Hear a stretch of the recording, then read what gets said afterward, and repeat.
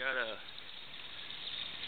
a few questions, um, not comments on the video, but uh, emails that were sent to me asking about the filtration on the pond.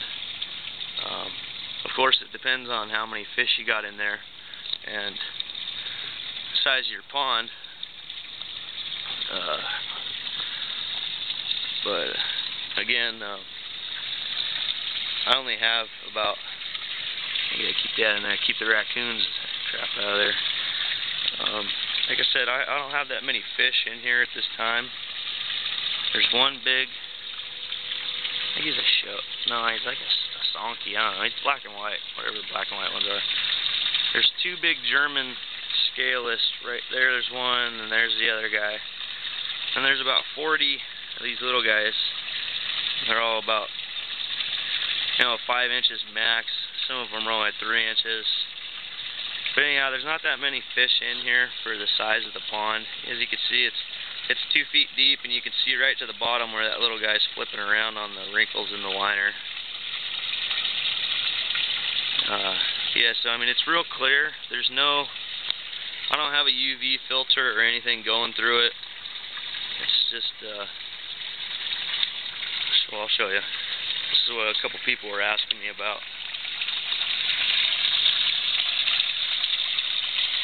Plants, I'm not big on plants. A lot of people say that plants are the key to having clear water. I disagree for the fact that uh, the plants will hold a lot of parasites, stuff that you don't want in there, depending on where you get them from. So I have two plants in the pond, that's it. I did, at one time I had the, the whole thing was covered in water hyacinths, but some of the fish got sick, and I think they were harboring parasites.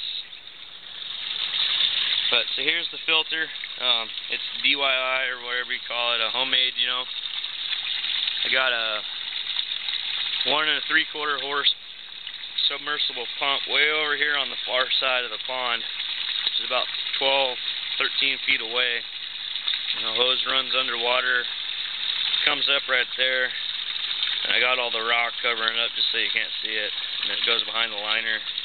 Comes out right there. Goes right up here into the tank. And all this is is a Rubbermaid trash can.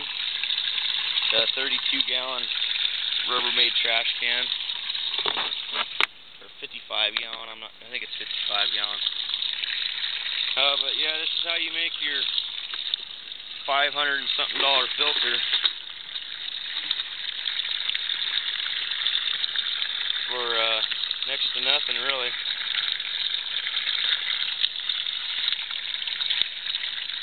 I got the hose coming in here through a little hole, and I got a zip tie. Zip tie going through here just just to hold the hose exactly where I want it.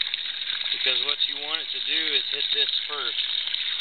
This is a bag full of carbon. And all it is, it's the sunshade. All this bag is, is that sunshade stuff. The same thing that's over there, the sunshade to keep the sun off. But it has really good resistance as far as UV and how long it's going to last. So I just put, I stapled it up, filled it full of carbon. Because you want your water to hit the carbon first. As long as your water hits the carbon very first thing, you should be alright as far as your biofilter. And then I got about 15, 15 or 16 layers of this, which is really nothing but a swamp cooler pad. 15, 16 layers of swamp cooler pad. And then underneath all the swamp cooler pad down there is uh, lava rock. Got about six inches, six or eight inches of lava rock right at the bottom. And that's the very last, oh, and feather rock. That's another good thing you want in there, is lava and feather rock. Because feather rock is real porous.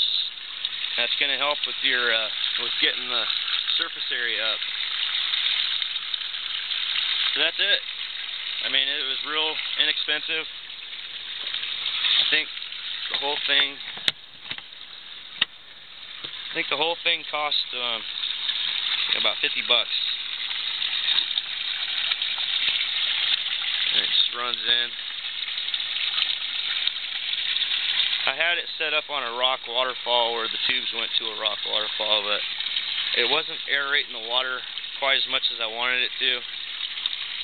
So I just moved the, I made it a, it doesn't look very good right now, of course, but it does what I need it to do, which it drops, those hoses drop about a foot and a half before they hit the water, which gives it a, which gives it real good aeration.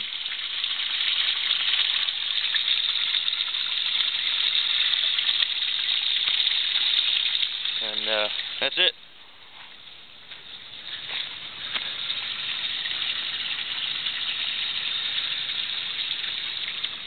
I was gonna make a separate video on the the fry pond down there, but I'll just walk down there real quick.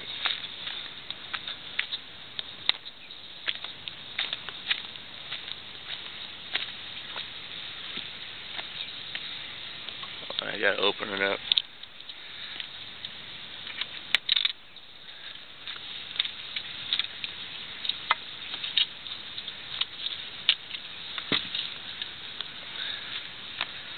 There's a little fry pond. These guys were all born about a month ago. Unfortunately, I had to leave town for about a week. And, uh, some frogs got in here, and some water skinks got in here. Basically, decimated this year's fry.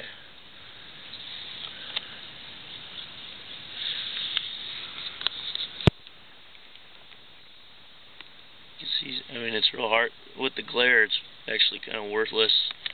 I'll have to do another one later on when the glare's not so bad. As you can barely see these guys moving right, right there.